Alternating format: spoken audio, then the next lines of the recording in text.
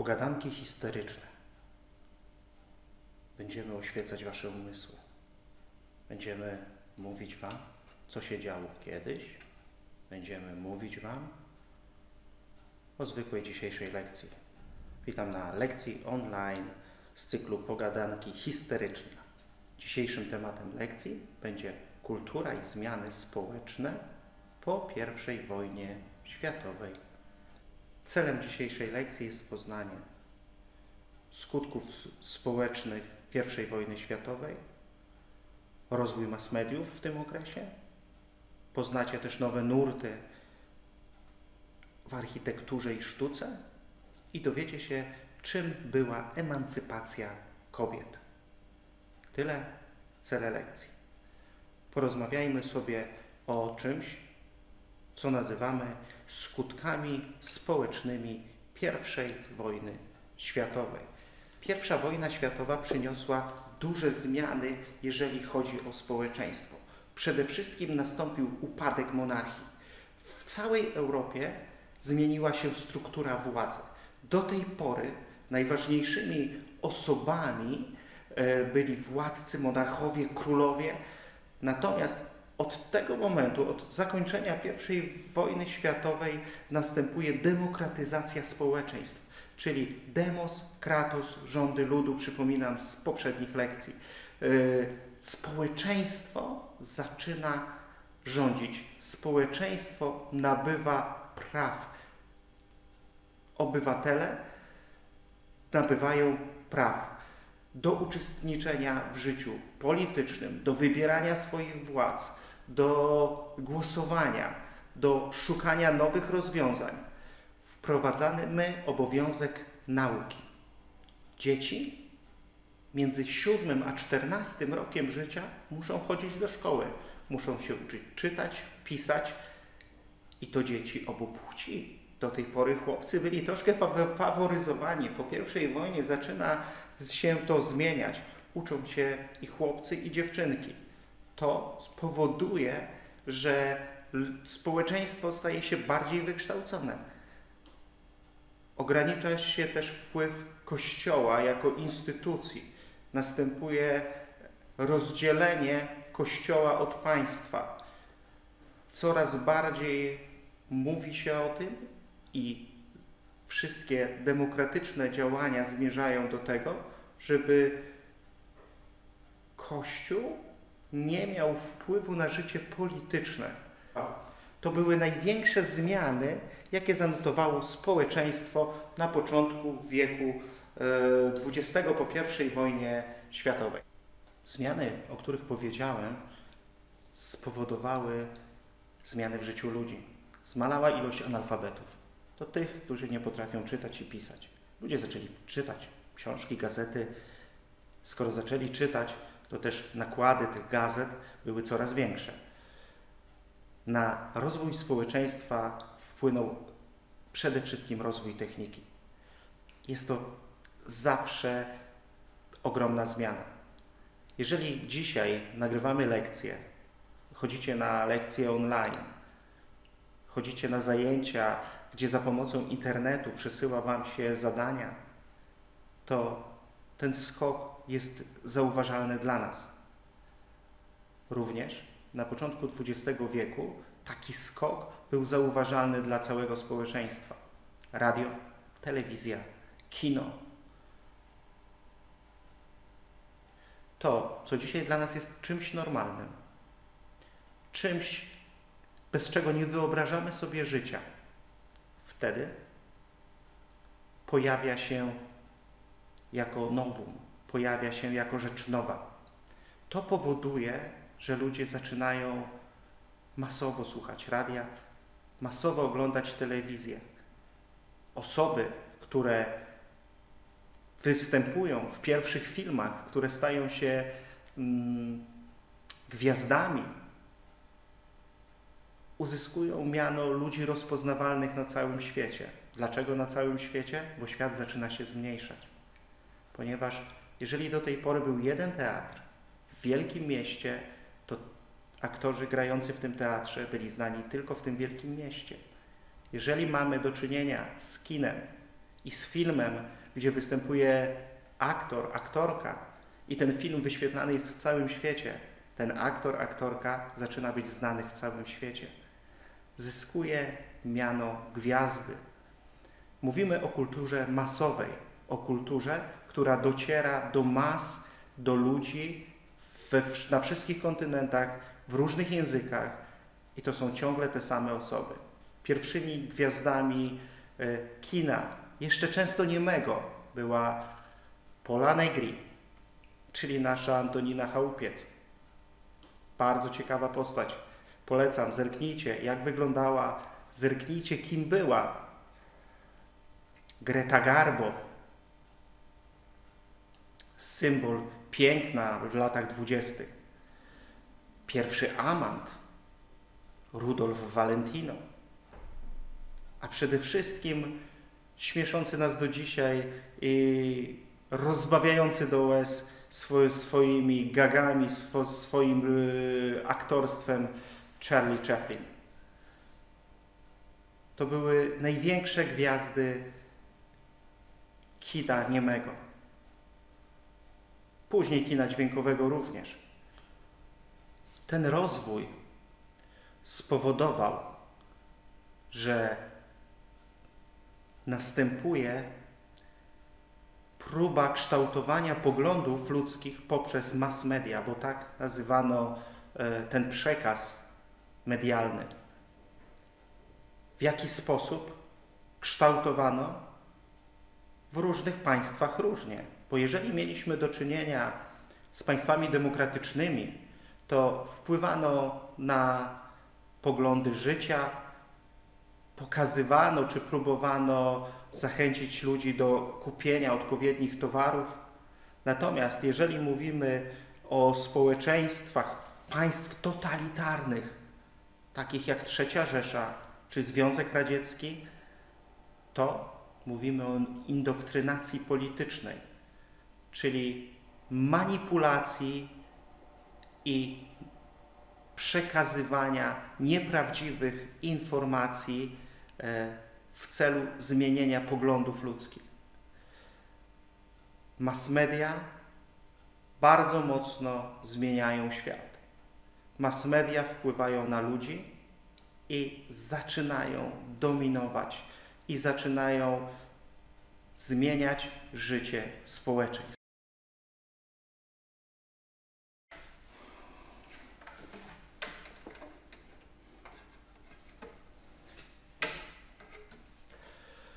Potędze radia jako wpływu na społeczeństwo może świadczyć e, fakt, że wyemitowane słuchowisko Wojna Światów, mówiące o ataku przybyszów z kosmosu na Amerykę, spowodowało ogromną panikę tam.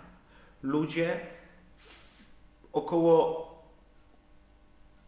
miliona słuchaczy potraktowało ten fakt bardzo poważnie potraktowało ten fakt tak dosłownie, że zaczęli uciekać ze swoich, swoich domów, a niektórzy nawet próbowali popełniać samobójstwo. Radio, telewizja, kino zaczęły wpływać na świat. W jednych społeczeństwach wykorzystywano je do celów politycznych, indoktrynacji społeczeństwa, o czym mówiłem.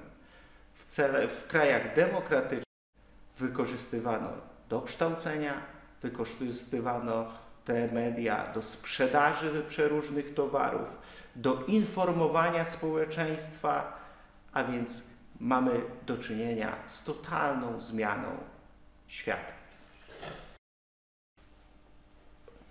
Jeżeli mówimy o zmianach w 20, w 20 latach XX wieku, musimy powiedzieć o zmianach, jakie nastąpiły wśród kobiet.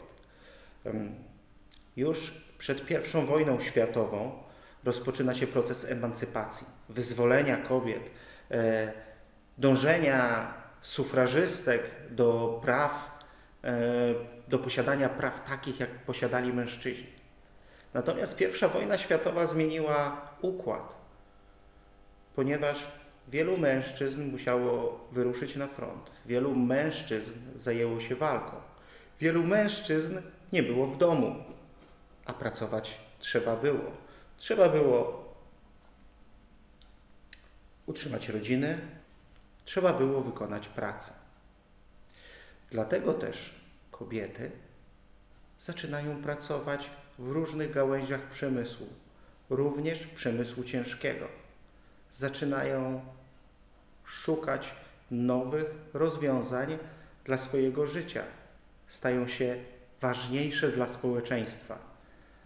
Od 1918 roku kobieta, kobiety otrzymują prawa wyborcze. Od 1918 roku stają się pełnymi, pełnoprawnymi obywatelkami społeczeństw. Następują zmiany również e, w ich poglądach, w ich e, pojmowaniu rodziny. Do tej pory konserwatyzm był dominujący. Ojciec, matka, rodzina taka, jaką ją znamy.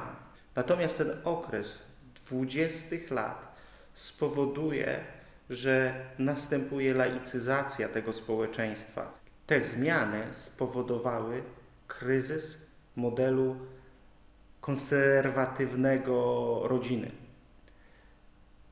Coraz liczniejsze stały się rozwody. Kobiety oczekiwały czegoś więcej niż tylko służenia mężczyznom. Zaczęły dbać o swój rozwój różnoraki.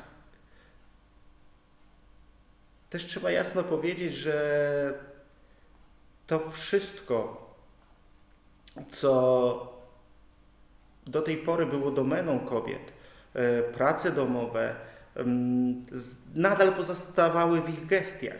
Do tego doszły prace związane z pracą zawodową, więc kobiety stały się e, o wiele bardziej obciążone w tym okresie.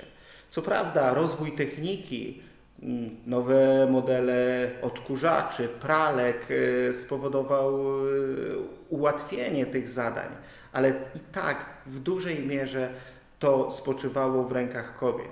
A więc emancypacja kobiet to jest usamodzielnienie się ich, bywanie nowych praw, które pozwalają im na nowe, inne życie. W tym okresie zmienia się również kultura i sztuka. Ludzie, którzy po tragicznych skutkach I wojny światowej postanawiają, że chcieliby odpocząć, chcieliby zapomnieć o tych trudach, chcieliby nie myśleć o tym, że trzeba walczyć o swoje życie, nie myśleć o tym, że za chwilę mogę zginąć, nie myśleć o tym, że za chwilę może stać się jakaś wielka tragedia. Uciekają odpocznienie, uciekają w zmiany. E, te zmiany to jest eksperymentowanie, jeżeli chodzi o taniec, jeżeli chodzi o muzykę, o estradę, muzyka staje się bardziej frywolna, muzyka staje się bardziej lekka, stroje stają się bardziej swobodne, a gwiazdy estrady stają się coraz bardziej popularne. I ten okres nazywamy szalonymi latami dwudziestymi. Zapamiętajcie, lata dwudzieste, szalone lata dwudzieste. Zmienia się również moda, szczególnie moda kobiet. E, suknie niewygodne, gorsety, które były straszliwą przeszkodą dla swobodnego życia, zostają odrzucone przez kobiety. E, droga biżuteria, drogie ozdoby zostają zupełnie odrzucone przez nich. Natomiast y, pojawiają się swobodne, krótkie. Wszyscy zapatrzeni są we francuskie wzory, wszyscy stawiają na proste fasony, wygodę, skromność, opaleniznę, a w krajach rozwiniętych pojawia się sport wyczynowy, pojawia się chęć odpoczynku, chęć oderwania od rzeczywistości, pojawiają się, pojawia się taniec, e, pojawia się chęć zmiany dotychczasowego życia. W tym okresie również ogromną popularność zdobywa nie kto inny jak myszka Miki, która, jako ciekawostkę powiem, miała być na początku psem, ale została myszką. Myszka Miki stała się jedną z najbardziej rozpoznawalnych postaci e, okresu międzywojennego. E, zaprojektowana, wymyślona przez e, amerykańskiego reżysera, producenta Walta Disneya, staje się ikoną popkultury, staje się ikoną 20 lat. Zerknijcie zresztą, jak wyglądały pierwsze filmy z myszką Miki.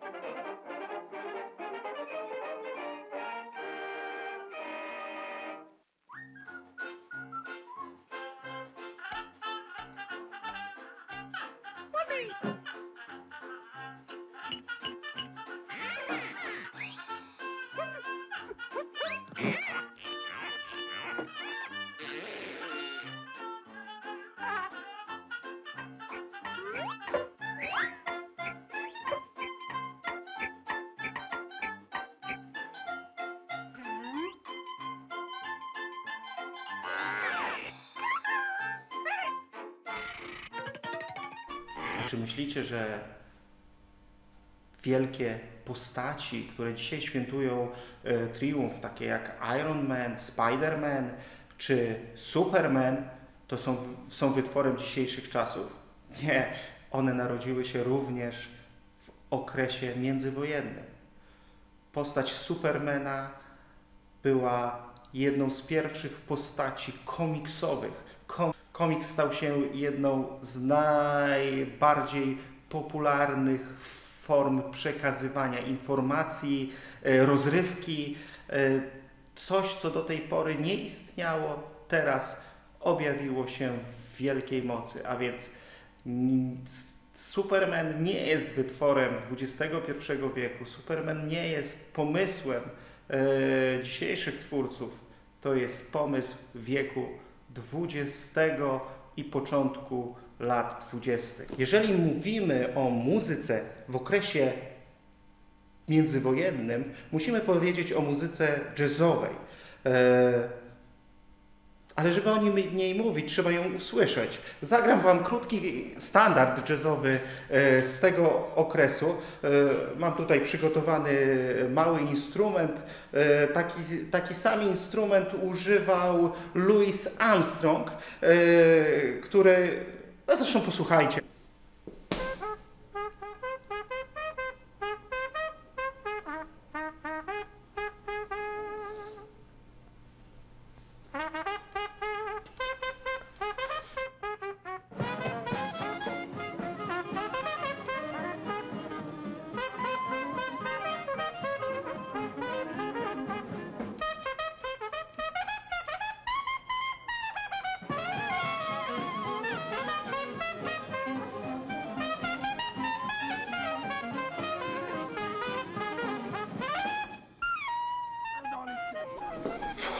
Prawda, że fajnie?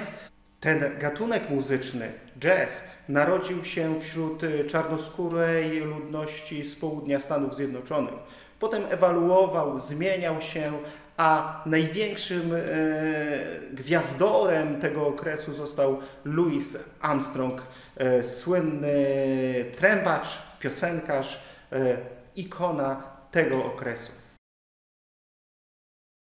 A więc dowiedzieliśmy się dzisiaj o tym, co zadziało się w wieku XX, w latach dwudziestych, po I wojnie światowej. Dowiedzieliśmy się o zmianach, jakie nastąpiły w, wśród kobiet. Dowiedzieliśmy się o zmianach, jakie nastąpiły w społeczeństwie. Dowiedzieliśmy się o tym, że pojawia się kultura masowa, że mass media mają ogromny wpływ na życie ludzi dowiedzieliśmy się o emancypacji kobiet i poznaliśmy największych e, przedstawicieli tego okresu. Bardzo Wam dziękuję za to, że wysłuchaliście tej lekcji i pamiętajcie, że historia jest ważna. To się nie zmienia. Historia jest ważna.